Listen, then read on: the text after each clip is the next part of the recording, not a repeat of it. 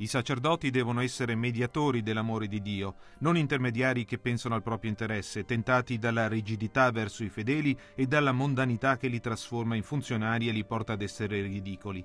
Lo ha sottolineato con forza Papa Francesco nell'omelia della messa del mattino a casa Santa Marta, prendendo spunto dalle parole di Gesù, che nel Vangelo di oggi sottolinea l'insoddisfazione del popolo, mai contento. Anche oggi ha osservato ci sono cristiani insoddisfatti che non riescono a capire cosa il Signore ci ha insegnato.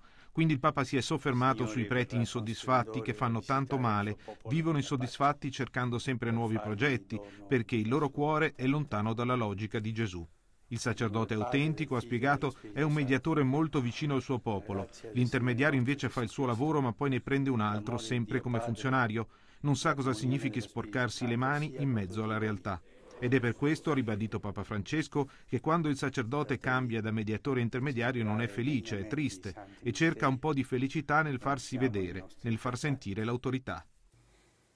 Ma anche per farsi importanti, i sacerdoti intermediari prendono il cammino della rigidità tante volte staccati dalla gente, non sanno cos'è il dolore umano.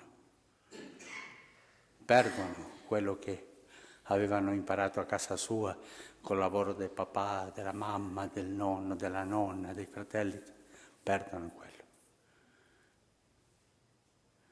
Eh, sono i rigidi.